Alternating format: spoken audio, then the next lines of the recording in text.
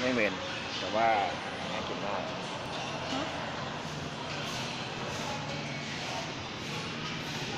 ครับเห็ดกับเห็ดเขียวหวานนี่คือข้าวหมก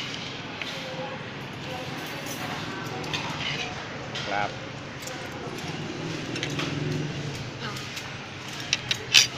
ช้อน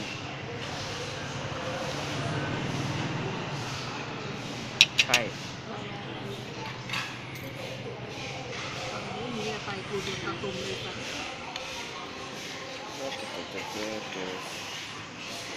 ครับ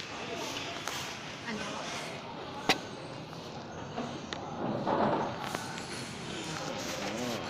ข้าวหมกไก่ครับ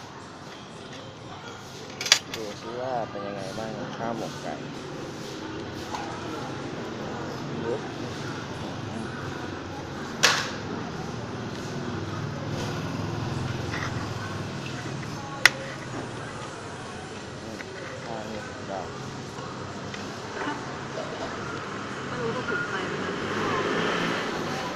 หรือเปล่าไม่รู้นะ